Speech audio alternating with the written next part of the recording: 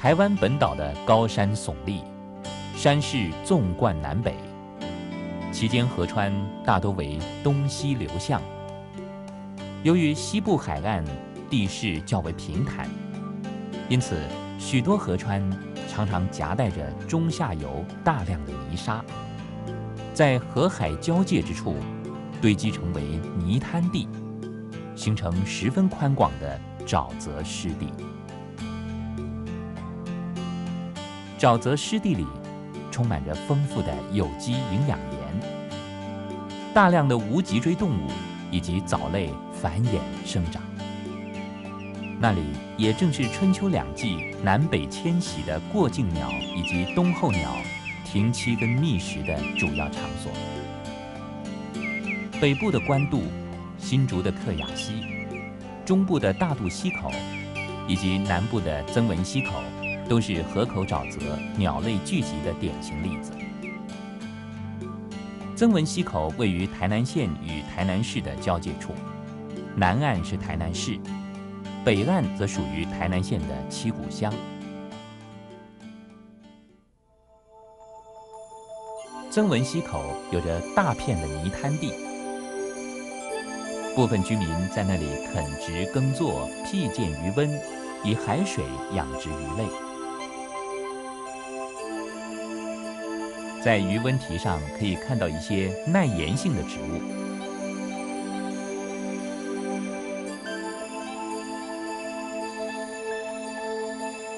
冰水菜、冰刀豆、马鞍藤以及芦苇，就是曾文溪口最常见的耐盐性植物了。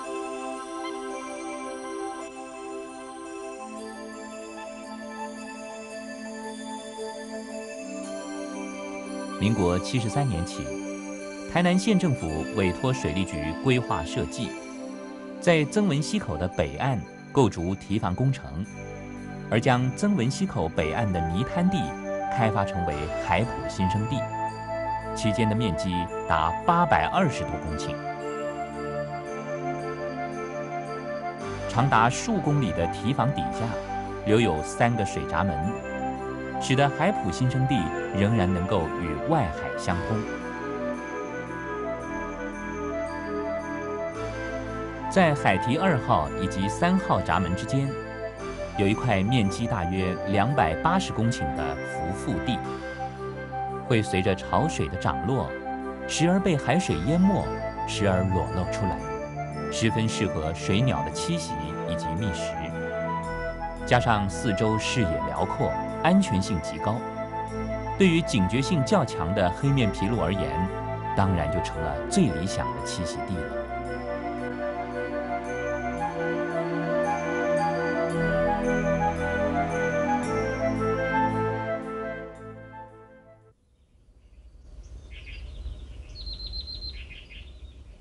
这种鸟为什么叫做黑面琵鹭呢？原来它有一个长长的。外形像似琵琶的嘴巴，连同脸上眼睛的周围都是黑色，全身白色的羽毛，长长的脚，和不算短的脖子，外形和露丝差不多，因此就被称作黑面琵鹭了。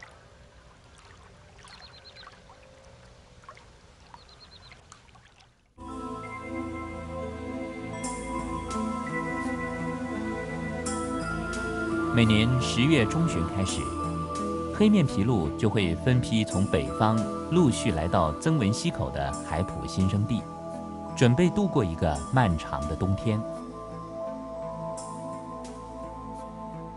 刚抵达的时候，白天里的大部分时间，它们常常成群并排地停栖在溪口的浮腹地上，休息跟睡觉。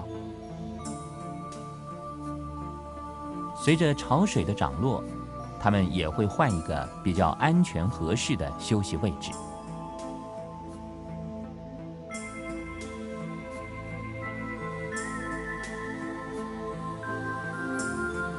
根据初步观察的记录，黑面琵鹭和国外相类似的种类一样，常常是利用太阳西下、天色转暗的时候，觅食活动才较为积极跟频繁。这正是为什么一般人们在白天看到黑面琵鹭的时候，他们总是在休息跟睡觉的主要原因。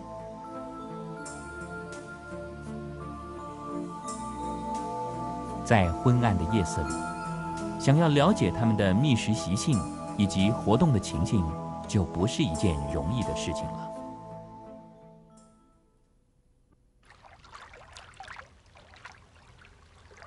黑面琵鹭在曾文溪口渡冬的期间，有一部分的族群偶然也会在白天的时候从事觅食的活动。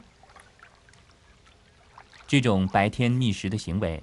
在他们即将北返的前一段日子里，显得更为频繁，也增加了我们对于黑面琵鹭生态习性进一步了解的机会。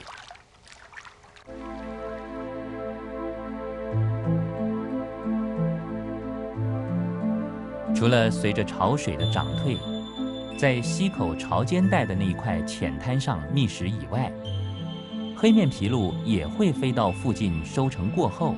或者是废弃的余温里觅食，它们觅食的方式大多是采用群体行动的模式，从三五只一小群，到四五十只一大群都有可能。大伙儿一起摆动着长扁的嘴巴，不停地在水中寻找食物。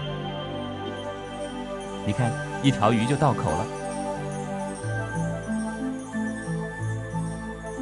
这边也捞到了一条。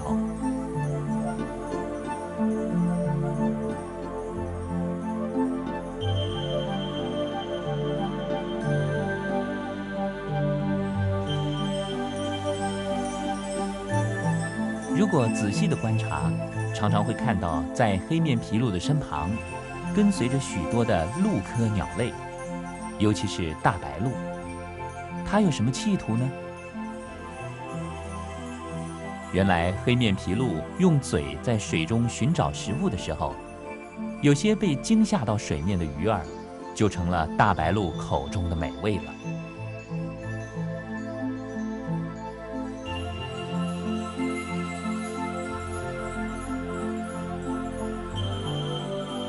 当然，天下没有白吃的鱼儿，在黑面琵鹭埋头苦干、低头觅食。没有办法兼顾警戒天敌的时候，大白鹭伸长脖子，注意四周环境的警戒本能，使它自然地成为黑面琵鹭最佳的守护者。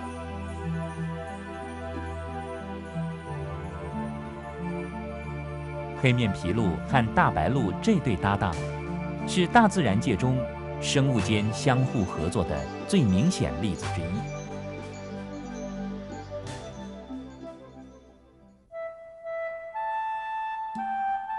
不论是在溪口的浅滩，或者是水较浅的余温，黑面琵鹭在饱食一餐以后，它们彼此之间常常会有相互嬉戏的行为。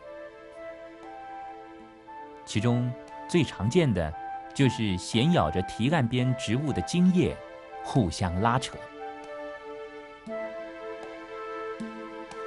根据国外的调查研究，皮鹭这一类型的鸟类。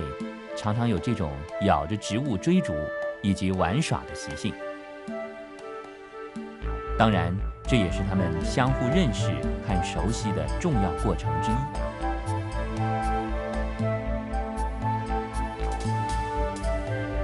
黑面琵鹭的群居生活以及嬉戏玩耍的行为十分有趣。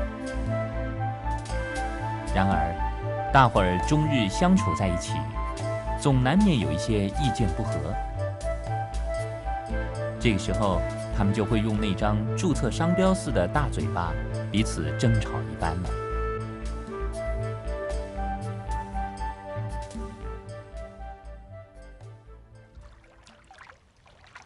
余温堤上是黑面琵鹭嬉戏玩耍的主要场所，而曾文溪口那一块随着潮水涨落的浮腹地。则是黑面琵鹭洗澡、整羽和相互理毛的好地方。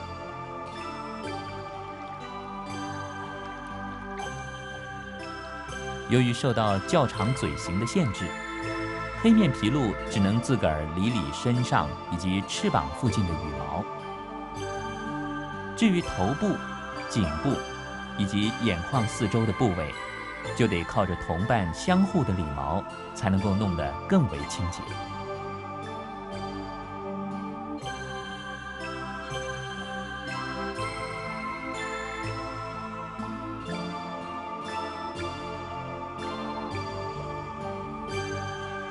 黑面琵鹭常常在风和日丽、天气暖和的日子里，趁着涨潮的时候，利用涨起的海水洗洗澡、清清羽毛，然后它们会聚在一起，不断地展开以及震动双翅，那样可以使得身上的羽毛干燥得更快一些。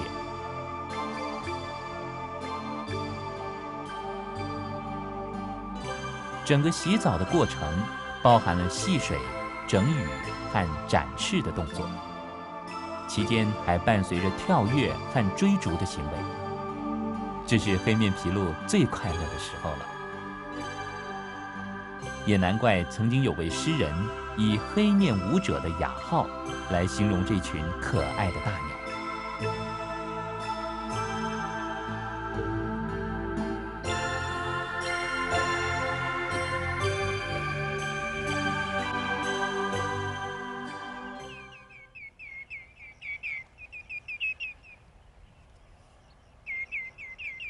在曾文溪口这一片宽广的海埔新生地上，除了黑面琵鹭以外，还有许多其他的访客。玉科、横科，以及许多的陆科鸟类，也都会选择曾文溪口这个地方作为它们渡冬的区域。除了海埔新生地以外，在附近余温度冬的鸟类更是不计其数。根据初步的调查，曾文溪口附近的鸟类大约有两百多种，其中也有不少是珍贵稀有的鸟类。由这个数字跟特性看来，曾文溪口是一块非常适合鸟类栖息的地方。黑面琵鹭在这里度冬，可一点也不会寂寞的。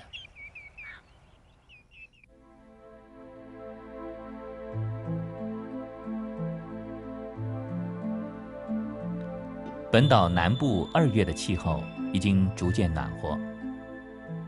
这个时候，有些黑面琵鹭的成鸟，在颈部以及头顶的后方，换上了金黄色的羽毛。它们的外在形态和刚抵达本岛度冬的初期有了十分明显的不同。这种长有金黄色羽毛的外形，就被称作夏羽。也有人把它叫做繁殖羽。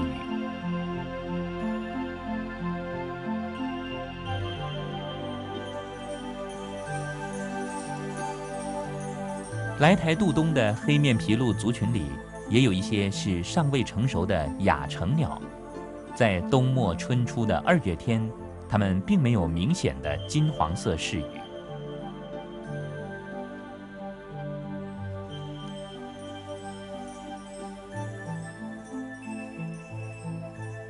这是一只已经换上了繁殖羽毛的黑面琵鹭，在后面的那只则是一种和黑面琵鹭长得十分相似，而眼睛四周却不是黑色的大鸟。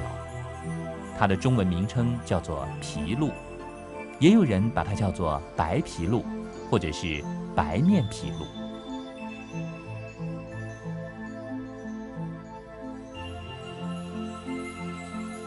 皮鹭夹杂在黑面皮鹭的族群里面，如果没有把它的脸看个仔细，可还真是会把它当成了黑面皮鹭呢。然而，皮鹭出现在台湾的几率并不多。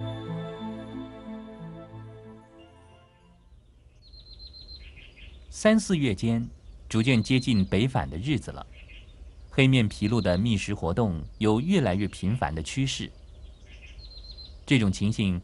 无非是想在飞回北方繁殖下一代之前能够储存充分的体能以便完成北返的漫长旅途。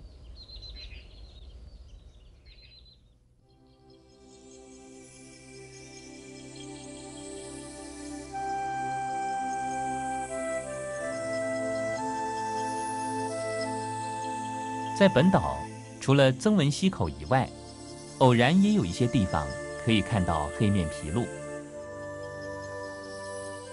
然而那些数量并不多，它们停栖的时间也不会太久。黑面琵鹭在本岛的渡东区域，主要还是在曾文溪口。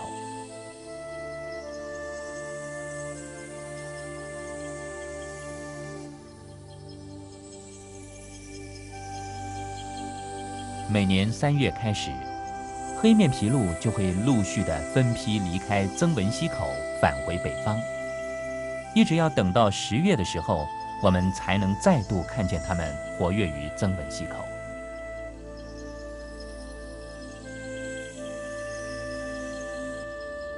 在北韩外海的小岛上，曾经有黑面琵鹭繁殖的记录以外，它们北返以后将飞往何处呢？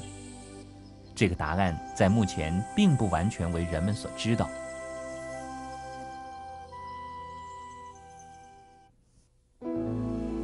根据世界各地报告的统计，人们目前所观察到的黑面琵鹭，它们的总族群数量还不到四百只，主要是分布在亚洲东部的海岸地区，分布的范围十分狭隘。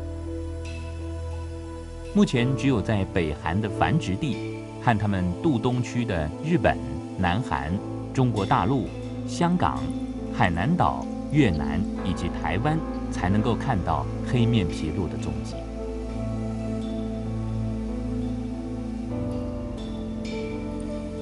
从1989年到1993年的那段期间，在各个渡东区所观察到的黑面琵鹭。除了台南的曾文溪口以外，其他各地区的族群数量都还没有超过一百只的记录。然而，却有许多地方已经划设了保护区，来保护那些珍贵稀有的黑面琵鹭了。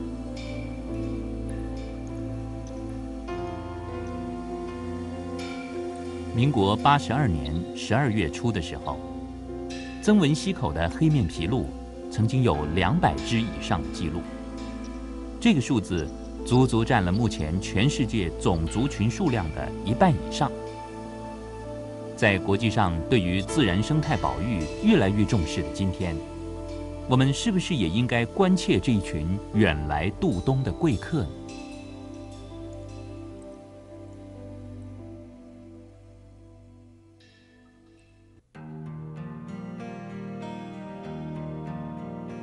有关黑面琵鹭的种种，人类还有许多的未知。我们是否应该要好好保护这些现有的黑面琵鹭，等待我们前去探索他们的世界呢？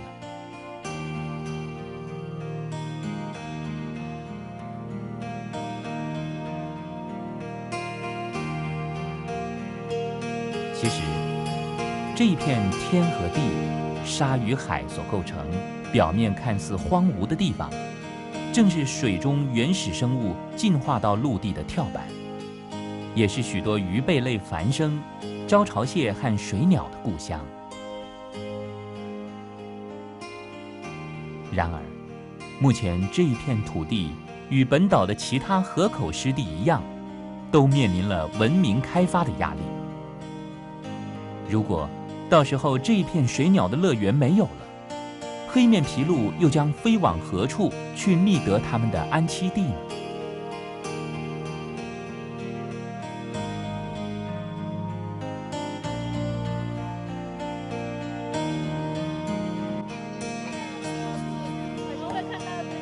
今日鸟类，明日人类。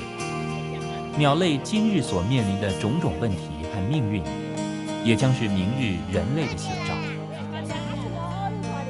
人终究是自然的一份子，生于斯，长于斯的我们，基于对这片土地的热爱，是否能够抽个空，停下手边繁忙的事物，好好的思考，而去关心这些问题呢？